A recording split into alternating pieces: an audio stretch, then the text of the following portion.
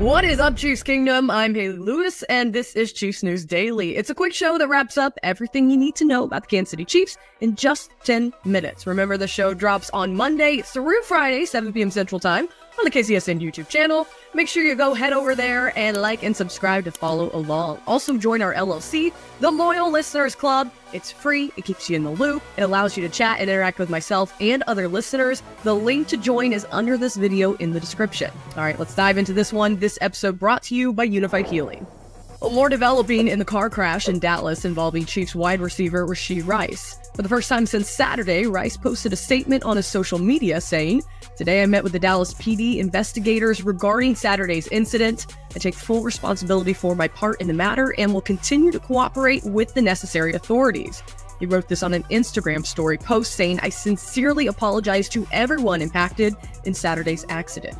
Now, today, Rice's attorney spoke to the media, according to Sam McDowell from the Kansas City Star. During the police interview, attorney Royce West said Rashee Rice acknowledged that he was driving the Lamborghini. Royce West also went on to say that Rice will handle his responsibilities regarding the car accident. He is going to do everything in his power to bring their life back to as normal as possible in terms of injuries and in terms of property damage. Well, today is a special day, Chiefs Kingdom. We get our first look at Patrick Mahomes throwing a football to his newest offensive weapon, Hollywood Brown. Mahomes posted this video on his Instagram feed, showing off the pass from QB1 to Brown with the caption being a bullseye emoji right underneath it. There are other receivers spotted in this video as well, catching passes like Nico Remigio, Irv Smith Jr., Skyy Moore, and Justin Ross. What is even cooler, or maybe just a fun fact, I guess, is that Mahomes added the song Precision by Big Sean over the video. Big Sean actually commented on the post saying, Study the target, I'm never gonna miss it. I call that precision. Like, hey, followed by the bullseye and fire emoji. So we got a Chiefs fan in Big Sean, huh? I'll take it. Now expect to see more videos and content like this as the Chiefs start phase one of off-season training. The program begins on April 15th. OTAs kick off on May 20th. Minicamp taking place on June 11th. OTAs are voluntary. They run from May 20th to the 22nd, May 28th to the 30th, and June 4th to the 7th. Mandatory minicamp is June 11th and it runs through the 13th. Now, phase one consists of the first two weeks of activities limited to meetings, strength and conditioning, physical rehabilitation only, as we've seen over the past two seasons. Mahomes likes to work with his teammates about building chemistry by hosting players for workouts in his home state of Texas during this time. All right, let's head over to social media to check in on Chiefs players. We'll get y'all caught up on the latest. Chiefs' newest addition, Carson Wentz, spoke with media today as the Chiefs officially announced the quarterback signing. Wentz explained why he chose to sign with the reigning Super Bowl champs. He said, Why I'm here today is just the winning culture, the desire to be on a winning team, and a good culture, and in a good community with a good fan base just seemed like a good fit. Veteran backup signed a one year deal with Kansas City, making the Chiefs his fifth NFL team to play for. Our Chiefs defensive end Charles Omenihu was recently on Kay Adams' Up and Adams show talking about who he's looking forward to facing next season. He might be on a little revenge tour this season after coming back from a torn ACL injury, which kept him out of the Super Bowl game against the 49ers this past February.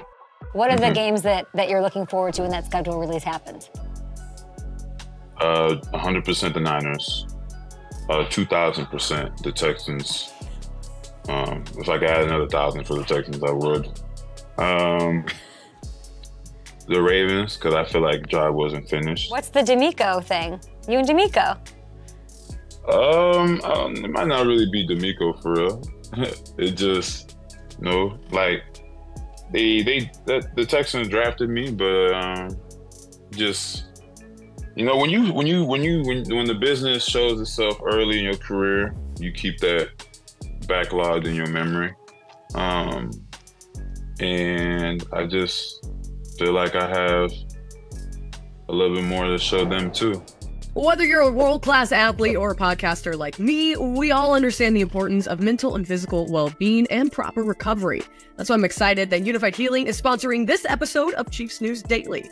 Unifyd Healing is a new and innovative global network of wellness centers powered by Energy Enhancement System or EE System whether you're here in Kansas City or elsewhere, there are hundreds of locations across the globe. Access to a center is easy and affordable. Interested in experiencing the EE system technology for yourself? Go to unifydhealing.com slash KCSN to learn more and find a center near you. That's U-N-I-F-Y-D healing.com slash KCSN. No material or testimonials on the Unifyd Healing website are intended to be viewed as medical advice or a substitute for professional medical advice, diagnosis, or treatment. Always seek the advice of your physician or other qualified healthcare providers with any questions you might have regarding a medical condition or treatment and before undertaking a new healthcare regimen, including EE system. Or just three weeks away from the NFL draft, which kicks off on Thursday, April 25th in Detroit. The Chiefs have seven picks in total now, picking dead last in round one at 32. I guess that's the price you pay for winning another Super Bowl. I'll take it. Their other picks include round two, pick 64, round three, pick 95, Round four, pick 131. Round five, pick 159. This is from Dallas. Round five again, pick 173. It's a compensatory pick. And round seven, pick 221. That is from Tennessee for the Sneed trade, but via Carolina. So, what are the experts saying? Here are some of the latest mock draft picks for Kansas City. Let's kick it off with NFL Network's Lance Zierlein. He has the Chiefs taking Georgia wide receiver Ladd McConkey at the end of the first round. Zerline explains the Chiefs snag an inside slash outside receiver who was one of the most polished game ready targets in this class. CBS Sports' Josh Edwards has the Chiefs going a different route at pick 32, taking Alabama cornerback Kool Aid McKinstry. Edwards explained that the Chiefs have a need at cornerback. After trading away L'Jarius Sneed, they could fill that void in the first round with this selection. On Monday, the KC Laboratory guys ran their second mock draft of the year. The boys at home, we got Kent Swanson, Craig Stout, and Matt Lane. They chose to actually trade up to pick 27 to select LSU wide receiver Brian Thomas Jr. After the pick, Matt explained that the Chiefs are getting a wide receiver that has legitimate speed and is still young. Let us know your thoughts on these picks. As always, we want to know who you think the Chiefs should go after, we appreciate you guys staying involved in the show. If you want to know more about the draft information as we gear up for the draft here in less than a month, you got to check out the KCSN Draft Guide. More than 300 pages of Chiefs specific draft coverage, which players fit the Chiefs scheme, and historical markers for certain position groups. It's the best resource for Chiefs fans to have as the NFL draft gets closer. The link is under this video in the description. Also, make sure you head over to Twitter. We want you to share with us your draft crush. We want to see your replies. Now let's check in with KCSN host Maddie Lay to hear who he is crushing on in the NFL draft. Well, in honor of the KCSN draft guide release being today, I think it's time to answer the question who is my Chiefs' dream pick for the Chiefs this year?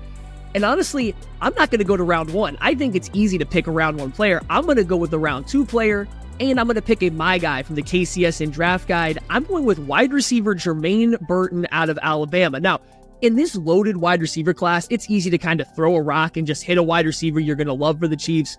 But Jermaine Burton just screams Kansas City Chief to me for a couple reasons. So six foot, 195 pounds, very average sized wide receiver, but a great vertical threat, averaged over 20 yards per target this past year dominant as a vertical guy, but then he has the catch point skill. So maybe he doesn't get open, he can go up, elevate, get the football, and he's great on broken plays. That's where I really love him is when a play breaks down, he is so quick to become a playmaker. We know that'll work well with Patrick Mahomes. So Jermaine Burton, dream draft pick for the Kansas City Chiefs in round two for me.